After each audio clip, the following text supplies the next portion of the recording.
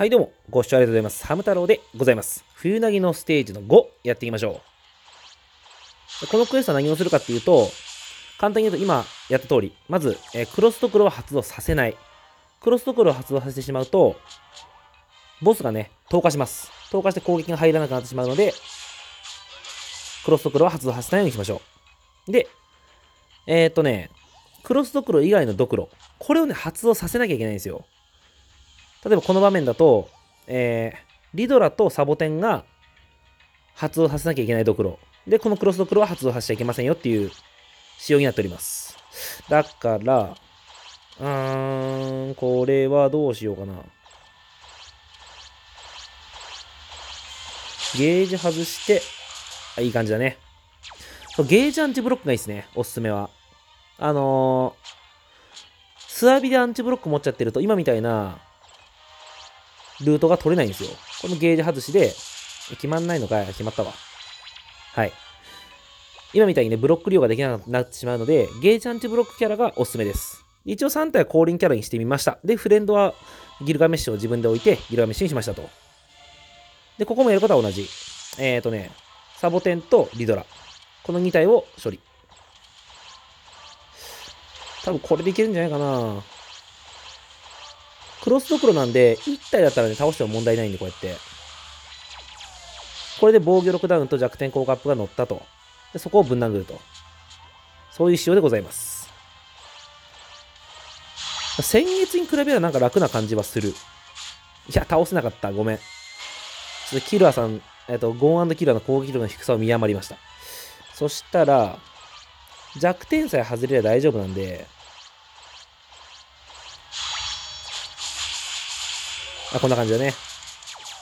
で、中、内、あの、雑魚なんですけども、内部弱点なんで、えー内部まで通らない友情コンボ。だから、ほ、えーと、普通のホーミングとか、今みたいな反射増殖弾とか、ああいう友情コンボがここでは活躍します。もちろんね友情コンボを使って倒しちゃうってのもありなんですけど、もうエクスカリバーとか連れてくると何もできないですからね。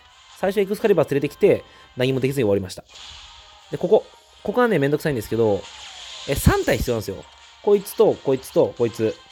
この3体を、えー、3体を処理してクロストクロ発動させない。っていうのが条件になってくるんで、当たっちゃうかな、これ。あー、オッケーオッケー。オッケーじゃないかな。で、2P キルアで、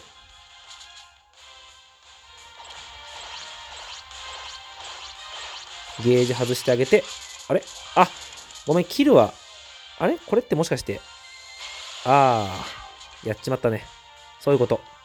これがね、アンチブロックキャラじゃないキャラのダメなとこ。ダメって言い方おかしいけど、アンチブロックがあった方、ゲージアンチブロックの方がいいよって言った証拠です。これね、ジャイアンの位置がめちゃくちゃいいんだよね。ジャイアンの位置からだと非常に処理しやすいんですけど、一応狙います。あやっぱ行っちゃったか。そこで、これ全部処理しちゃうと、あの、弱点効果アップ、防御力ダウン、で、こっちのバフをもらってる状態にはなるんですけど、敵が投下してると。だから、ダメージが稼げない。だからこそ真ん中の3体のみ。だこうやってね、ジャイアンみたいに場所が良ければ、もうスイスイです。止まっちゃわねえかな、パワー、パワー型。あ、いけた。で、次のキルアで、えー引っ張いて終わりかな。ヒロ決まるかな？さっき決まなかったからな。ここで攻撃力のなさがあだとなるか。いやーだ、あ、いけたいけた。っていう感じですね。ご視聴ありがとうございました。ハム太郎でございます。よろしければチャンネル登録よろしくお願いいたします。どっちかっていうと4の方がめんどくさかったけどね。バイバイ。